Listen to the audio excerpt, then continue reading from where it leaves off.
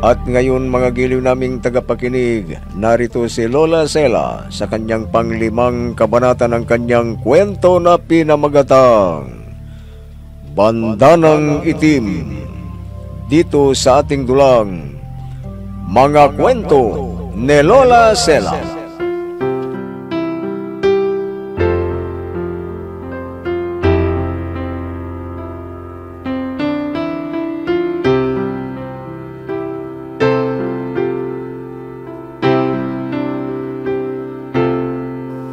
Nakita ni Jade ang bandadang itim at binalik niya ito kay Venus. At si Zian, inimbita niya si Venus na kumain sa labas. At doon na siya nagsabi ng nasa kalooban niya na mahal niya si Venus. At kung pwede, siya na ang maging BF niya. Sinagot naman siya ni Venus. Nakita niya ang taong kachat niya doon nang minalit na siya. Bubawi siya dito at napabangha ang lalaki sa kagandahan niya. Sa isang banda, nagtanong uli sa maghuhula si Venus kung hanggang kailan ang bisa ng bandadang itim ah. Tatanungin ko lang po, kung hanggang saan at hanggang kailan ang bisa ng bandanang itim. Kung ilang buwan, taon, ang bisa nito. Tatanungin ko lang po sa inyo at baka may paraan pa po para tumugal ang bisa niya. Ay, sa ngayon, hindi ko masasagot yung mga katanungan mong yan. Pero kailangan po ninyo akong tulungan. Dapat mas tumugal pa ito, di ba? Alam niyo naman po, na ngayon lang ako nag-i-enjoy sa buhay ko. At ngayon lang ako nakaramdam ng ganitong kasiyahan sa buhay ko. Kailangan di mawala ang bisa nito kaagad. Para sabihin ko sa iyo, ang anumang labis ay nakakasama yan. Paano? Kung nalaman ni si Ian na ganito palang itsura ko, pagkalayuan niya ako. Dapat di mawalang visa nito kaagad, di ba? Sandali, sandali. Oh, ito ang litrato ko at ng aking asawa na si Minardo. Gamit ko ang bandanang ito nung nagkakilala kaming dalawa. Ano? Kayo yung nasa litrato? Oo, ako nga. Ako ang nasa litratong yan. Eh bakit? Malayo ba sa mukha ko ngayon? Eh, pero alam mo ba, na hindi ko ginamit ang kapangyarihan ng banda ng itim na yan. Alam mo ba ang ginawa niya? Tinanggap pa rin niya ako sa kabila ng lahat, kahit ganito ang aking itsura. At doon ko napatunayan na hindi lahat ng lalaki tumitingin sa panlabas na anyo ng isang babae. At ang banda ng yan ay isang instrumento lamang. Nawawala ang bisa niyan kung hindi maganda ang iyong paggamit. Ha? Basta ngayon lang ako nakaranas sa buhay. Nahangaan ako ng mga lalaki. Ngayon lang. Ay, sandali. Bakit? Hindi ka ba masaya kung anong meron ka ngayon? Masaya.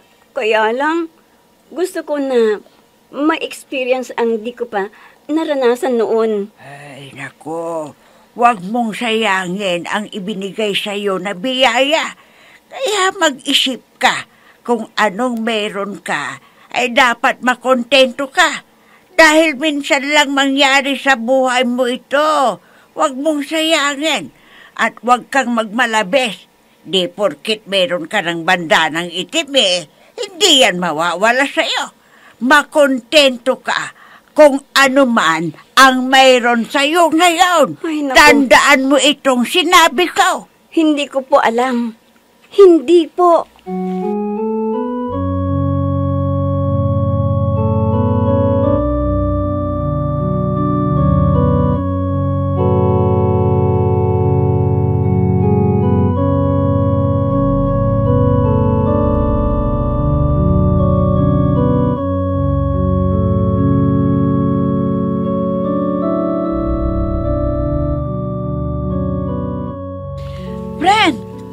galing? Hinahanap ka ng boss natin. Bakit niya ako hinahanap? Anong problema niya? Kasi, this past few days, di mo naabot ang kota mo. Pati yung mga accounts, di mo man lang inasikaso. Nanganganib ka tuloy, alam mo ba yun? Ano? Ako nanganganib? Alam mo, di nila ako pwedeng tanggalin dito dahil wala silang mahahanap na katulad ko. Ako ata ang pinakamagaling dito, ang pinakamatalino sa opisinang ito. Ako ang alas nila. Kaya takot lang nila, takot lang ni manager dito sa dami-dami kong kliyente. Kung mawawala ako, malas nila. Dahil ako ang alas ng kumpanyang ito. Paano? Kung aalisin nila ako, mawawala ang alas nila.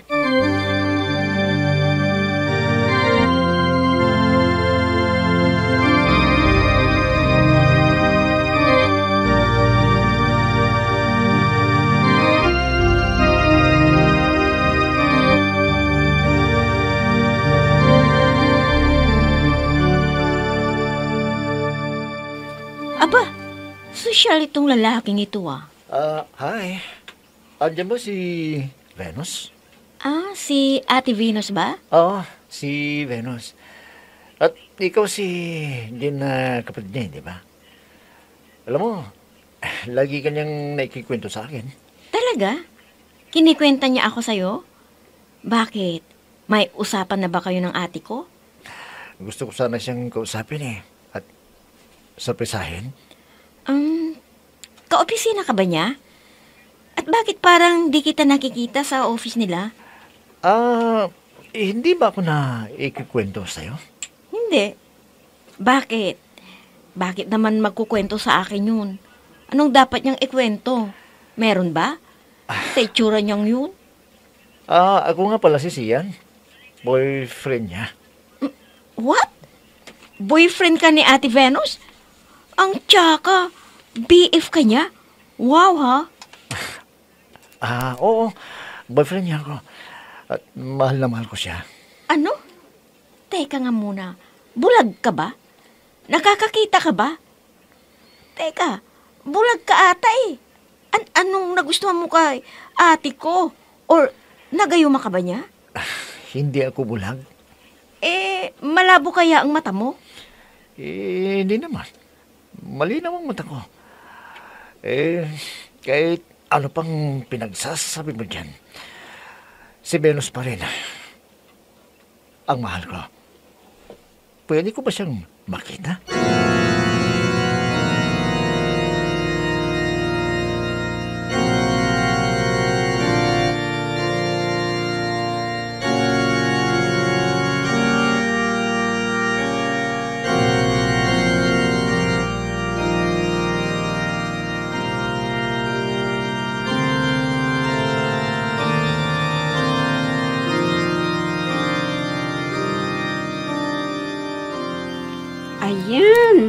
may kadate na naman ako. Kayong mga lalaki, basta maganda, sige, lapit lang kayo sa akin at maaakit kayo sa aking kagandahan. Ngayon, pag-aagawan nila ako kasi maganda ako. Noon, kahit sino, parang nandidiri sila sa mukha ko. Parang may sakit ako na di dapat tignan dahil sa mukha ko. Ngayon, lapit lang kayo. Gaganti ako sa pag-iwas ninyo sa akin noon. Ngayon, hahabol-habol kayo na parang aso na ulol. Kaya, masaya ako. Buti na lang at may banda ng itim.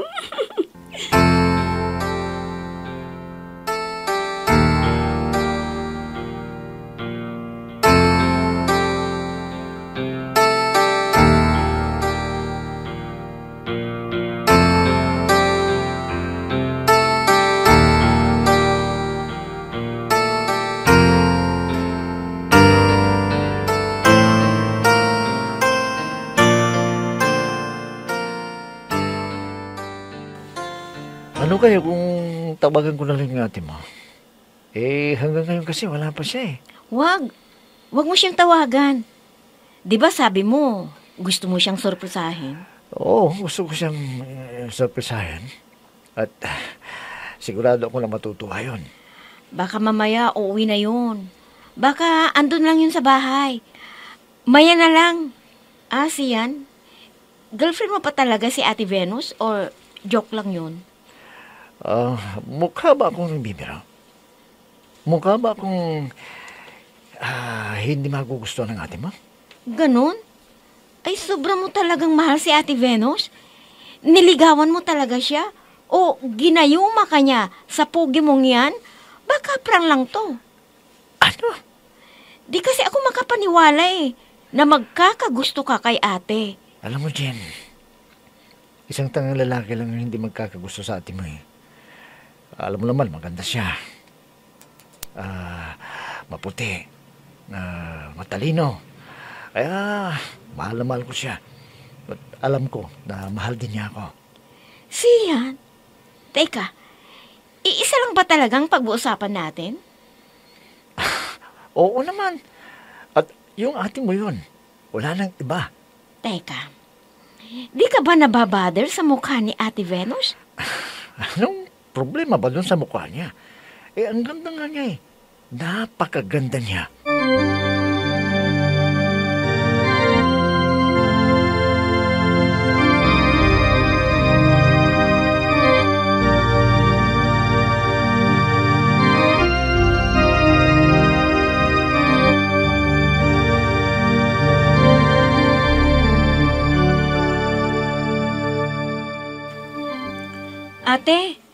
May naghahanap sa'yo sa baba. Kanina pa nga siya naghihintay sa'yo eh. Ah, sino? Boyfriend mo daw. Ah, ha? Anong ginawa niya dito? Ewan ko, kanina pa nga siya eh. Ay, nako. Ewan ko sa kanya. Bakit siya pumunta rito? Oh, kanina pa siya naghihintay dito. O ano, hindi ka ba magpapakita sa kanya? Ay, nako. Wag na lang. Bukas na lang. Tatawagan ko siya mamaya. Um, ate, yung totoo ha. Paano mo naging boyfriend yun? Oh, di dinaan ko sa ganda. Bakit? Gulat ka? Ha? Baka ginayuma mo, kaya nagkagusto sa'yo yun. Alam mo ate, ang yabang mo. Ha? Bakit? Di ka naniniwala? Alam mo, kung wala lang akong balat dito sa mukha, walang-wala ka sa kalingkingan ko sa ganda. At ang lamang ko sa'yo, matalino ako. At ikaw, asan ang utak mo? Ilang taon ka ba na nag-audition pero di ka makuha-kuha? Ni isa ba natanggap ka? Di ba? Hindi, lagi kang bukya. Ate, Kasi, tanggapin mo na nabubuka. Itsura mo lang ang nakikita. Maganda ka nga lang, pero wala kang utak. Ang utak mo nasa puwet. At ngayon, sino sa ating dalawa ang mas pathetic, ha? Kaya pwede ba? Umalis ka na sa harap ko? Alis! ate!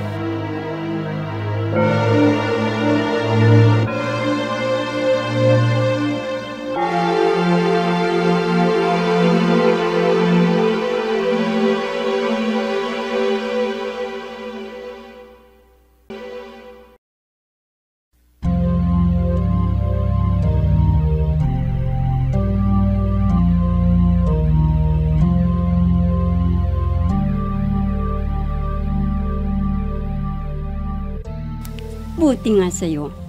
Kahit kapatid kita, sobra ka na. Dapat ka nang mapahiya ka rin sa akin. Ngayon, ako si Venus. At nasa akin ang kagandahan. Di ba, banda ng itim? Kaya akin ka lang. Hahayaan ko ang mga lalaking nahuhumaling sa akin. Hanggat may bisa pa ang banda ng itim. Ngayon ko lang may experience na nagagandahan sila sa akin.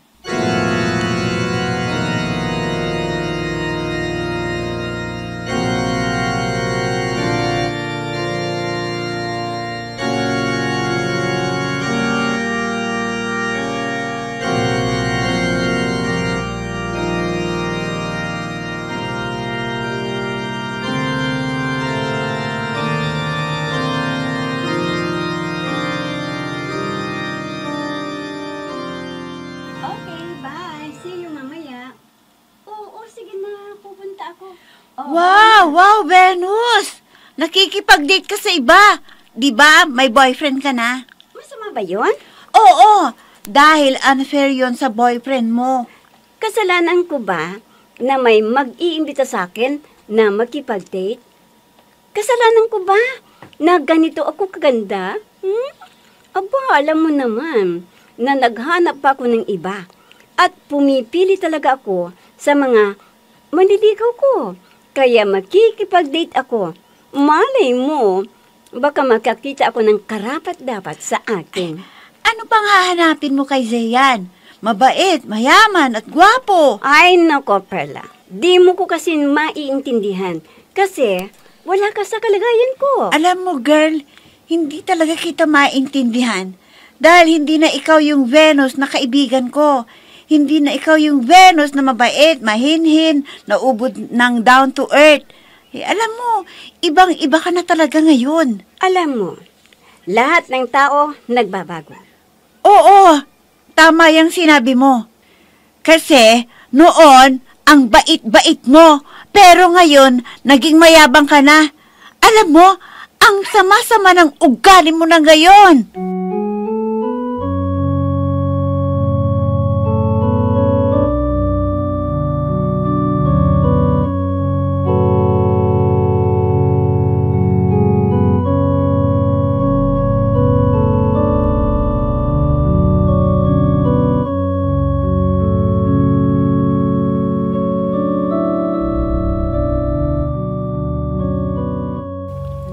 Sa susunod, wag mo na akong gugulatin ng ganun, ha? Eh, excited na kasi akong magkita ka eh. Kaya nagpunta ko sa bahay ninyo. Nasaan ka ba eh? Wala. Nasa bahay lang ako ng kaibigan ko. Kaya di tayo natuloy sa date natin. Ah, sir. Ah, do you want some dessert? Ah, okay na kami. Ah, Ah, sir. Gusto niyo? ah, mm, Ah, s- sorry po talaga. Ah, pasensya na kayo. palibhasa kasi ang tingin mo sa boyfriend ko. Eh, Asan ang manager mo, ha? Tama na yan. Pagpasensyaan mo na. Hindi naman niya sinasadya eh. Ah, hindi pwede. Nabasa niya ako eh. Eh kasi ikaw, nagpapakyut ka rin. Titingin-tingin ka pa, ha? Mag-CR lang ako. Hmm? Ayusin mo ang trabaho mo, ha?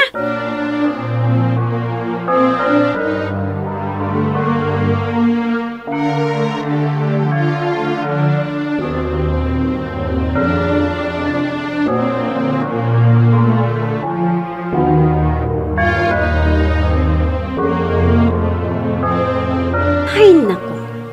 Ang dami-daming tanga sa mundo. Kakainis talaga. Nako, ka-stress. Nakakapangit pa. Nakakainis na ito talaga. Napakatanga ng waitress na yun. Ang tanga. Ang tanga-tanga. Palibhasa, iba ang tinitignan eh. Ha? Impacta! May impacta! Ah, impacta? Tingnan ko nga sa salamin ng aking muka. Ah, hindi! Ah, bakit ganito? Bakit bumabalik ang aking itsura? Bakit bumabalik ang mukha ko? Hindi, hindi. Kailangan ma- makalis na ako dito sa lugar na ito. Kailangan na di ako makita ng mga tao na ganito ang mukha ko. Kailangan na di ako makita ni Sian. Uwi na ako. Ayun siya, nag-aantay. Kailangan ko nang makawi. Ayaw ko nang makita niya na ang mukha kong ito, ang pangit. Bakit naging ganito ako? Sabi ng manghuhula sa akin, gaganda ko. Bakit ngayon? Bumalik ang aking itsura. Nagkaroon ako ng malaking balat ulit sa aking mukha. Kailangan walang makakita sa akin. Wala. Ayoko na maliitin nila ako at sabihin na impacta ako.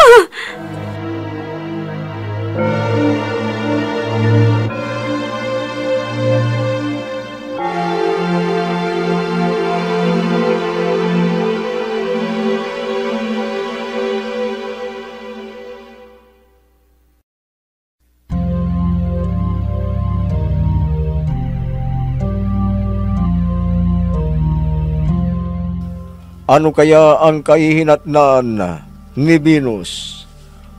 Magiliw naming tagapakinig, abangan ang susunod na kabanata ng ating kwento na pinamagatang Bandanang Itim dito sa ating dulang. Mga kwento ni Lola Sela. Mga nagbigay buhay sa ating dula. Myra Abrihal Narnula. Susan Malignem. Ami Diaz. Oscar Ora. Robert Di Guzman. Jun Cabato. Eva Alcoreza. Technical Supervision at Musika. Oscar Ora. Nilapatan ng tunog. Robert Di Guzman. Sa panulat at direksyon, Amos Iglesias. Mga kwento ni Lola Sela. Inihahandog ng IFRE Recording Studio para sa pambansang radyo ng Pilipinas. Bombo Radio, Philippines.